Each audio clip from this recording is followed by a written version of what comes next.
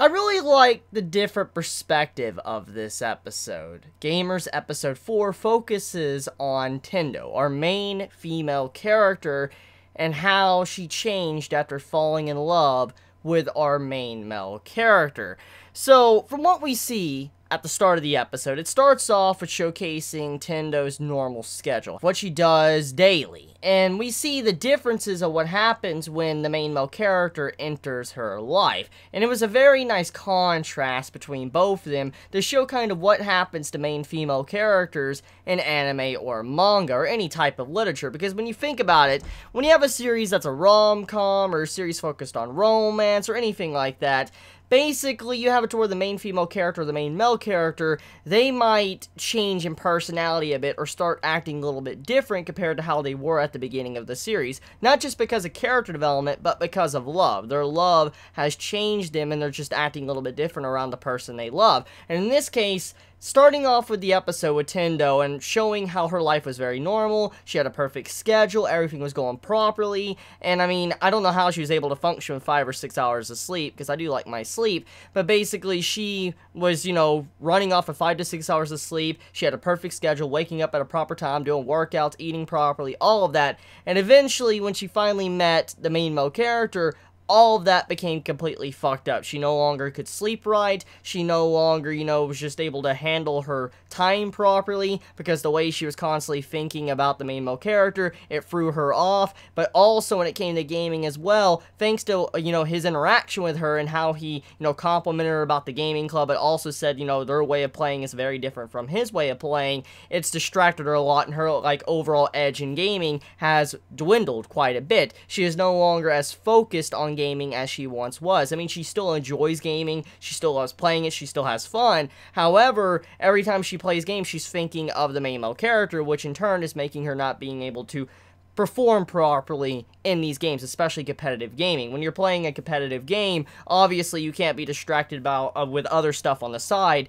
You need to have full attention on the game. In this case, with her thinking about the main male character and, you know, her, you know, in love with him, obviously she's not to play as good as she once was. So, like I said, I like the contrast of this episode. It's a very nice difference compared to the previous episodes because we've been following the main male character, and I'm glad this episode kind of gave the main female character the spotlight, allowed her to get some characterization and see kind of how her life is on a daily basis. I, I can appreciate her character much more now. However, there is one thing I want to talk about before I continue talking about this episode, is that what happened in last week's episode, like the cliffhanger. We had a massive cliffhanger in last week's episode, and this episode doesn't even clarify what happened at all. We don't even really know, like, what happened to all the misunderstandings. Like, did they break up or whatever? Did something else happen? I'm very curious. We didn't even see the girl as well that the main male character met and was introduced to in the last episode, which is very, very strange. So when you look at all of these things, I'm just curious, like what happened. Like, oh, did something happen? Did they have a massive argument and, like, did they break up as friends and stuff? I'm just, I'm very curious. But then on top of that, though, I mean, besides just wondering what happened there, we also have to wonder exactly what you know Tendou is going to do to change herself because right now she can't even play properly in the gaming club. She's going under these changes and it makes you wonder is she going to kind of realize why the main male character acts like he does why he rejects her? For instance he doesn't want to actually be a part of the you know gaming club. Maybe she will realize his actual reasoning and she'll be like holy shit now I'm actually just like him. I could see something like that happening However, though, besides that, the episode is very simplistic. It was a simple episode with a very simple concept. It was mainly just letting us know what type of character Tendou is and why she kind of cares about the MC so much. However, we didn't really get the origin point, because I highly doubt everything started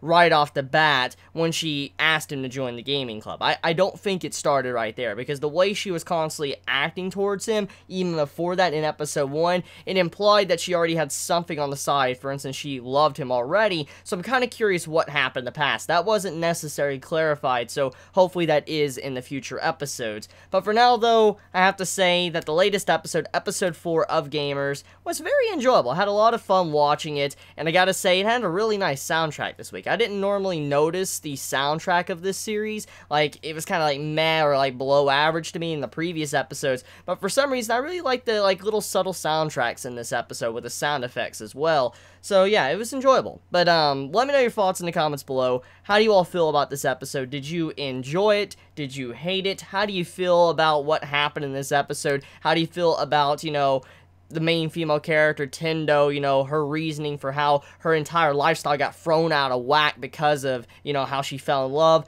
Please leave your honest opinions in the comments below. Please be safe. Chibi out.